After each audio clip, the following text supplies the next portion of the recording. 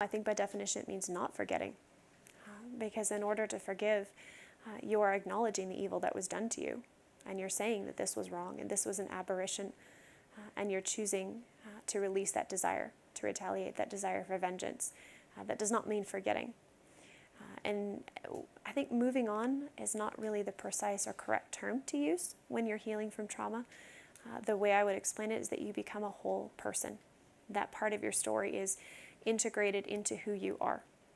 And it becomes part of who you are in a way that shapes your direction. Um, and let's be honest, there are still scars. There are still wounds out.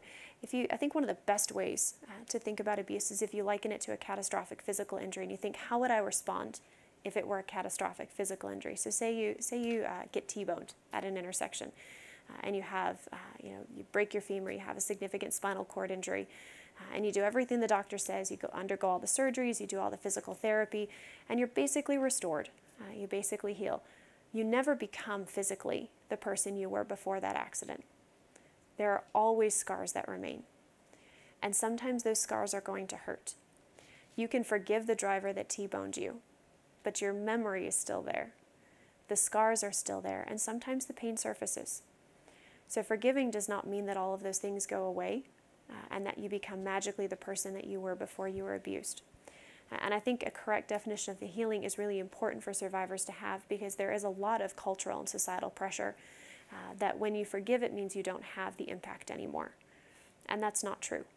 You know, if you suffer a catastrophic injury, there are going to be limitations uh, to what you can do. There are going to be times that you're in pain. There are going to be times that you need help and comfort and empathy for those physical injuries that you experienced. And the same is true for trauma like sexual abuse.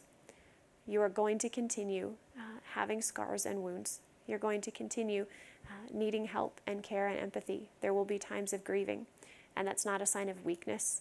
That's not a sign that you haven't forgiven. That's not a sign that you haven't healed. That's the reality of your story now. Um, and it becomes part of who you are, uh, but it transitions to a much more hopeful uh, existence. And when you're able to integrate those parts of your story and to see how they weave together, uh, you are moving forward, but you're not moving forward in a way that pretends it never happened.